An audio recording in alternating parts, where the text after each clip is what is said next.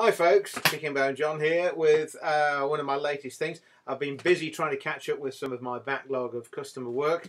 This is one of them. I've, uh, I've been modifying a guitar and doing a case. I don't often do cases. I sometimes feel I'm not really geared up for it, but I managed to get hold of uh, the components I wanted and some nice materials. So here we go. Uh, hard shell case, 6mm plywood, 18mm kiln dried softwood.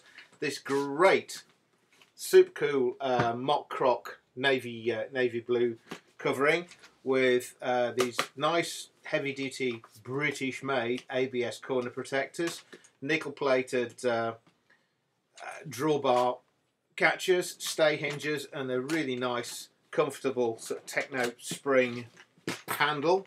If you want one doing for your guitar, give me a message.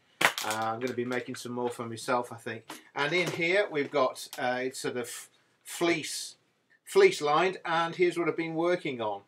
Got this sort of padded neck support and these padded.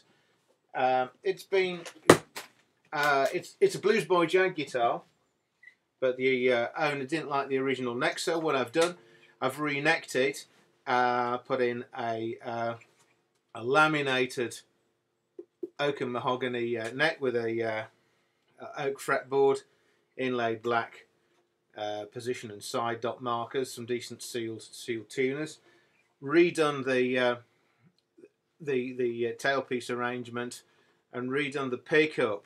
Uh, it's interesting getting things in from other people and how uh, people build their guitars differently.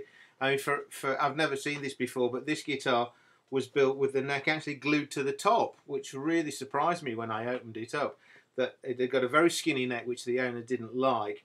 It was narrow and very, very shallow, and as it glued to the top, which is a bit weird.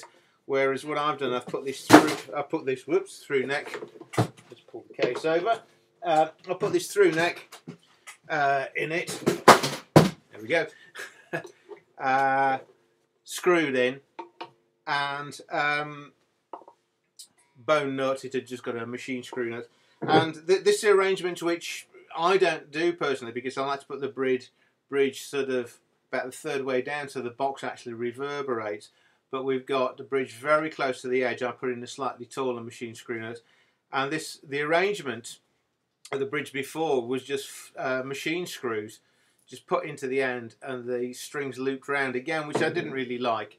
So I've actually made, uh, if you can see on here, this. Um, put this aluminium angle tailpiece so it comes over here with the original string bearer. And it's got interesting hand wound pickup. Uh, not bad sounding not much output but it, it's very it's very microphonic and does feedback at high level. But there were these just the pole pieces were just these uh, again these uh, machine uh, self tappers through through the top and the alignment wasn't as all that I really wanted. So I ended up realigning the tailpiece because we needed a wider string spacing. Realigning the pickup and because the pickup holes were in a slightly different place, I put this faceplate on it. Um, so still got the original box and the original pickup, but new neck, new tailpiece, new bridge. And uh, here we go in an open G tuning.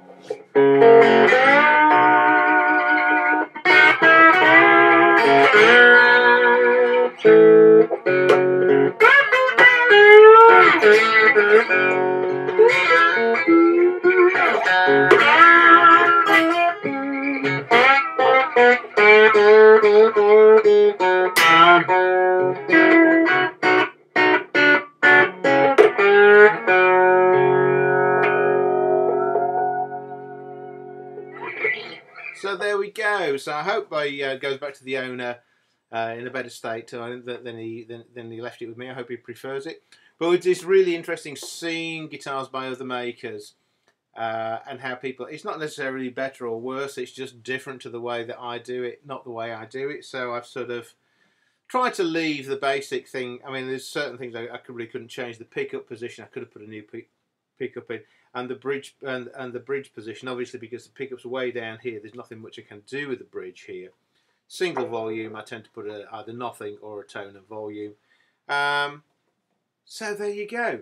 Um, out shortly with um,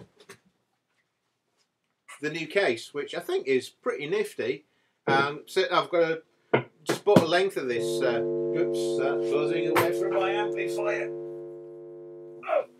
Uh, bought a length of this uh, sort of mock croc stuff, and I'm going to get some more. I think in a sort of paler colour, um, but pretty substantial cases. So decent, sturdy uh, hinges. So you can see this thing just uh, it just drops in. So we've got a uh, got a neck support here and padded bolster at the top and the bottom just to catch the headstock and stop that rattling about. Shuts nice, nice and firmly. Not rattling about in there. Very nice comfortable hand handle. Uh, ready for plenty of uh, many happy years service. Okie doke, bye for now.